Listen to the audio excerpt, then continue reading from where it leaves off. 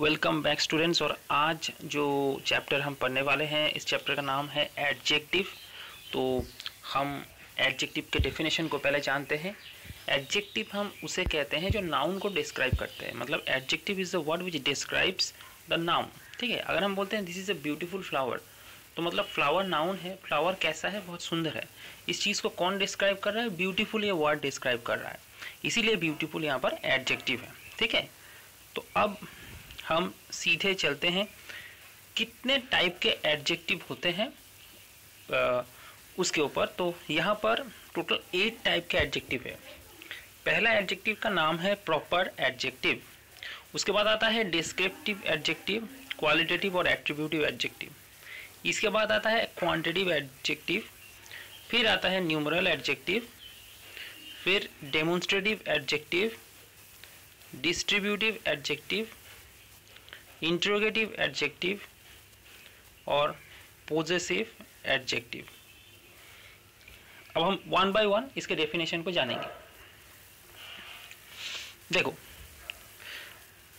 पहला है proper adjective proper adjective क्या है? Proper adjective is one derived from a proper noun proper adjective वो एडजेक्टिव होता है जो प्रॉपर नाउन से लिया जाता है। जैसे यहाँ पर एग्ज़ाम्पल जैसे दिया गया है, देखो एग्ज़ाम्पल को देखो अच्छी। द इंग्लिश लैंग्वेज तो देखो यहाँ पर यहाँ पर लैंग्वेज मतलब भाषा, ये एक नाउन है। और ये जो इंग्लिश है, ये भी एक प्रॉपर नाउन है, क्योंकि इंग्लिश एक भाषा का नाम है। इंग्लिश के द्वारा एक भाषा या जाति को हम मॉडिफाई करते हैं, हम उसके बारे में बताते हैं डिस्क्राइब करते हैं। तो यहाँ पर इंग्लिश एक प्रॉपर नाउन है।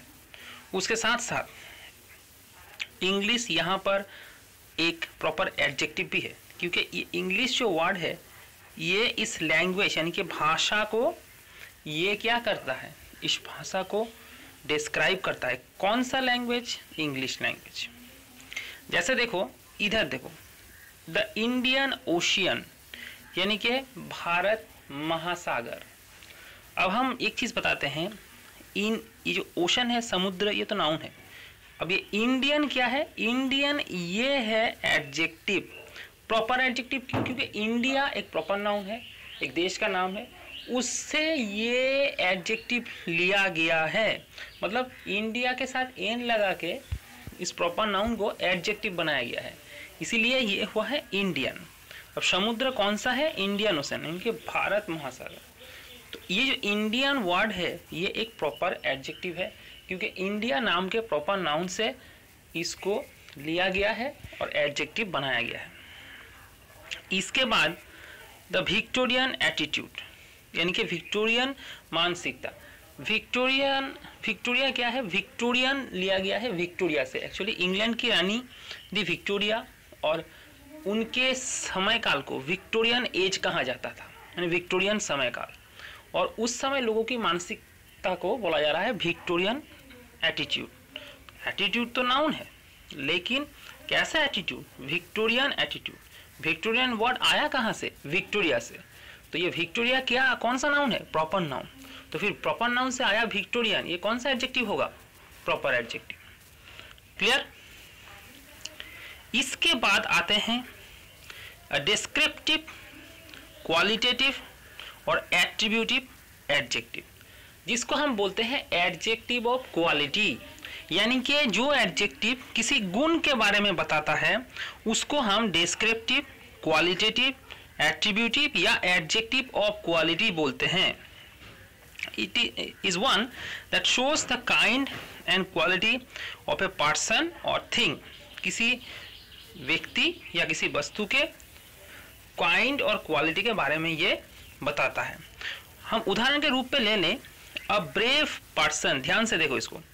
अ ब्रेव पर्सन तो एक व्यक्ति है और वो साहसी है।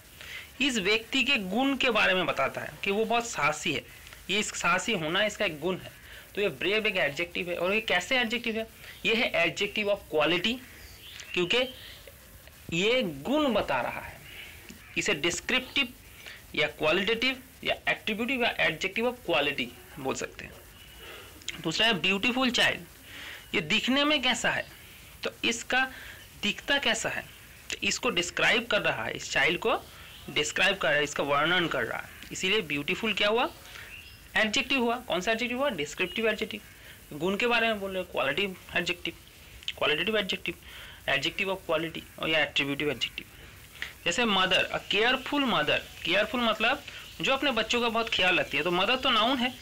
इस नाउन को कौन कौन सा वर्ड डिस्क्राइब कर रहा है? मदर इस नाउन को ये वर्ड केयरफुल ये डिस्क्राइब कर रहा है। इसीलिए केयरफुल एक एडजेक्टिव है और ये डिस्क्रिप्टिव एडजेक्टिव है, क्योंकि इसको डिस्क्राइब कर रहा है और ये गुण के बारे में बोल रहा है कि मदर जो है बहुत केयरफुल होती है। ठीक है, वो ख्याल रखती है बहुत बच्चों का तो एडजेक्टिव ऑफ़ क्वालिटी ठीक है? इसके बाद ये देखो अ क्वांटिटेटिव एडजेक्टिव या एन एडजेक्टिव ऑफ़ क्वांटिटी जो एडजेक्टिव किसी परिमाण के बारे में बताता है। Adjective is one that shows how much quantity of a thing is mean मतलब किसी चीज़ के परिमाण के बारे में बताता है, उसको हम क्वांटिटिव एडजेक्टिव बोलते हैं। For example I did not eat any apple मैंने कोई एप्पल नहीं खाया है। तो ये जो एनी है, ये एक एडजेक्टिव है। और इसके द्वारा क्वांटिटी परिमाण समझाया जा रहा है। यानी कोई भी एप्पल नहीं खाया है। तो कोई भी ये एक परिमाण होता है। जैसे ही एट मच ब्रेड उसने बहुत सारा ब्रेड खा लिया है। तो कितना सारा, बहुत सारा, ये मच एक परिमाण को बताता है। इसीलिए ये क्वांटिटिव क्वांटिटेटिव एडजेक्टिव है। इसके बाद यू ड्रिंक लिटिल मिल्क तुमने थोड़ा सा दूध पिया।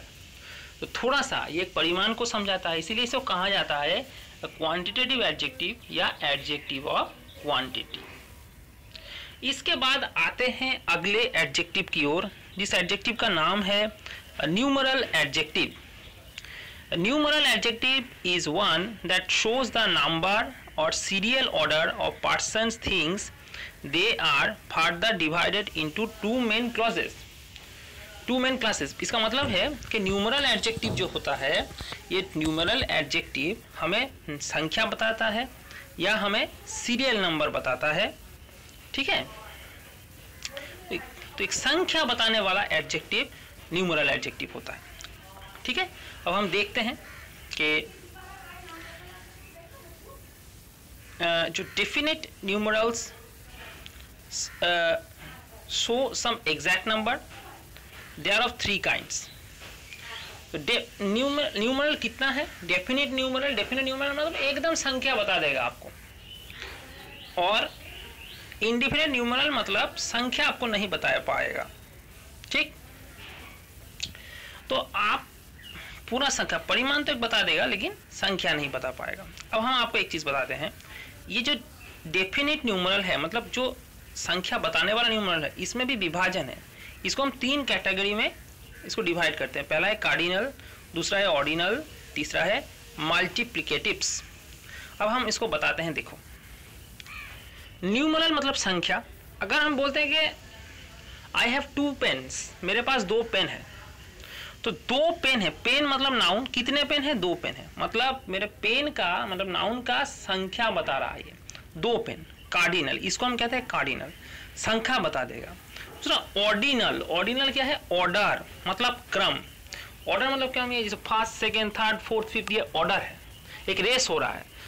रेस में कोई फ़र्स्ट आया सेकेंड आया थर्ड आया, ये एक ऑर्डर में आ रहा है, एक श्रेणी में आ रहा है। तो ये जो फ़र्स्ट सेकेंड थर्ड ये है he he he stood first in the class और ही इज़ द और he is the first boy in the class he is the first he is the first boy in the class class का first boy है। तो first boy मतलब लड़का है, उसका क्रम क्या है? ऑर्डर क्या है? फ़र्स्ट है या सेकेंड है या fourth boy of the class या उसका क्रम फोर्थ है।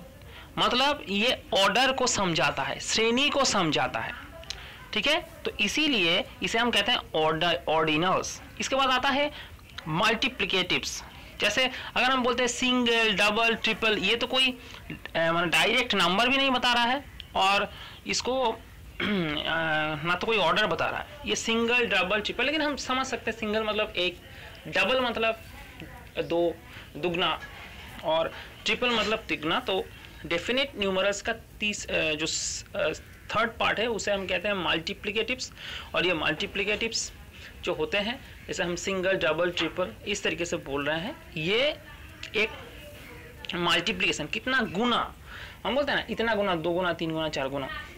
ये ये जो होता है, ये हम कह रहे हैं इसको कि डेफिनेट न्यूमरल्स न्यूमरल एडजेक्टिव इसके द्वारा संख्या को एकदम एग्जैक्ट बताया जा रहा है। देखो, इससे पहले एडजेक्टिव ऑफ़ क्वांटिटी जो हमने पढ़ा था, इसमें हमने किसी भी संख्या के बारे में हमने नहीं बताया था।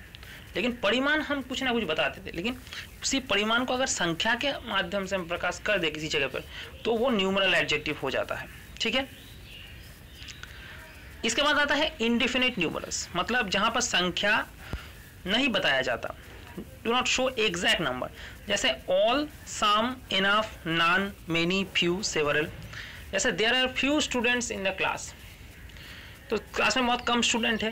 There are many people in the hall अब कितने संख्या है, ये तो नहीं बताया जा रहा. अगर कितने संख्या एक बार बता दिया जाता तो वो न्यूमरल डेफिनेट न्यूमरल में आ जाता. ठीक है? लेकिन संख्या यहाँ पर बताया नहीं जा रहा है.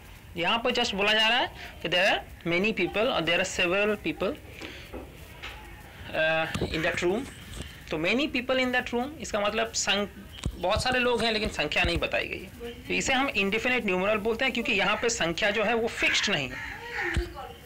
इसके बाद a demonstrative adjective is one that points out which person or thing is meant this boy that person those में डेमोन्स्ट्रेटिव एडजेक्टिव एक ऐसा एडजेक्टिव है जो किसी व्यक्ति या किसी चीज़ की जो जो वो व्यक्ति या चीज़ है, उसको पॉइंट आउट करता है, निर्देश करता मतलब मैं बोल रहा हूँ कि अगर हाथ उंगली उठाकर अगर किसी चीज़ को निर्देश करो, दिखाओ कि ये देखो, ये वहाँ पर है, ये वहाँ पर है तो इसको हम डेमोन्स्ट्रेटिव एडजेक्टिव बोलते हैं। डेमोन्स्ट्रेटिव एडजेक्टिव बनता है एक्चुअली डेमोन्स्ट्रेटिव प्रोनाउन से।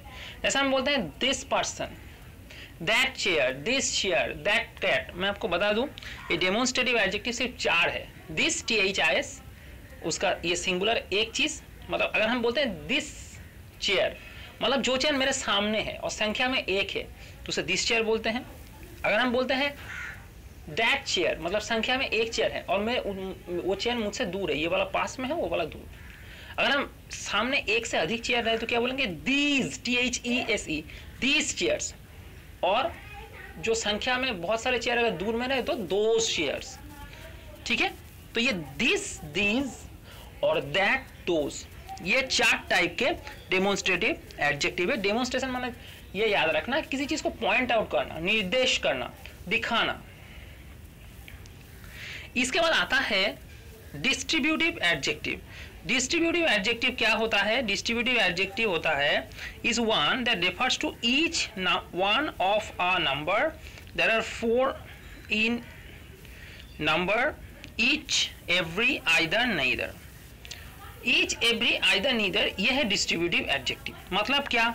मतलब है अगर संख्या में एक बताता है वो, कोई एडजेक्टिव, एवरी स्टूडेंट, अगर हम every student has got the prize मतलब हर एक स्टूडेंट को एवरी का मतलब हर एक होता है कि नहीं? तो कोई एडजेक्टिव अगर संख्या को एक बताता है तो उसको हम डिस्ट्रीब्यूटिव एडजेक्टिव बोलते हैं, जैसे आइदर आइदर ही और शी या ये वो वो गॉट द प्राइज यानी कि या उसको मिला है या इसको मिला है। मतलब एक चीज़ को हम बोल तो रहे हैं बहुत सारे लोगों में, लेकिन निर्देश कर रहे हैं सिर्फ़ एक चीज़। तो ये चार को आप याद रखना ईच एवरी आइदर नाइदर ये डिस्ट्रीब्यूटिव एडजेक्टिव इसके बाद आता है इंट्रोगेटिव एडजेक्टिव इंट्रोगेटिव एडजेक्टिव मतलब जिस एडजेक्टिव के द्वारा हम क्वेश्चन पूछ रहे हैं, उसको हम इंट्रोगेटिव एडजेक्टिव बोलते हैं। जैसे हुज पेन इज़ दिस ये पेन किसका है? व्हाट बुक इज़ दैट ये बुक किसका है? Which flower do you like the best कौन सा फ्लावर तुम पसंद करते हो?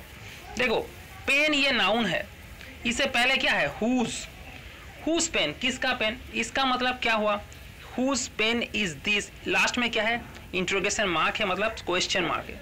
तो मतलब इंट्रोगेटिव मतलब जिसमें सवाल पूछा जाता है इंट्रोगेशन होता है। प्रश्न पूछे जाते हैं। तो ये तो इंट्रोगेटिव तो क्वेश्चन मार्क से तो पता लग गया, ये इंट्रोगेटिव एडजेक्टिव है। दूसरा एडजेक्टिव है कौन सा? ये है एडजेक्टिव नाउन है पेन उससे पहले जो बैठता है। तो ये हुज पेन किसका पेन ठीक है? किसका पेन है ये? तो किसका पेन है ये? मतलब सवाल पूछ रहे हैं। वाट बुक इज़ दैट ये कौन सा बुक है? तो हम सवाल पूछ रहे हैं, और वाट बुक तो ये वाट जो है, इस बुक के बारे में बता रहा है।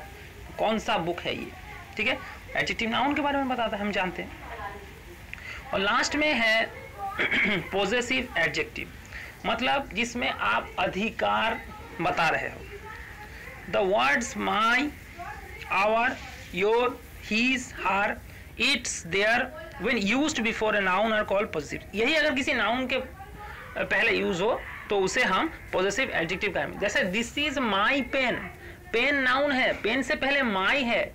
मतलब पेन के ऊपर उस तुम्हारा अधिकार है। तो माई पेन के ऊपर अधिकार जता रहा है। इसलिए पोजेशन जता रहा है। अधिकार जताता है। इसीलिए इस एडजेक्टिव को कहा कहा जा रहा है पॉजिटिव एडजेक्टिव बस, आज के लिए इतना ही।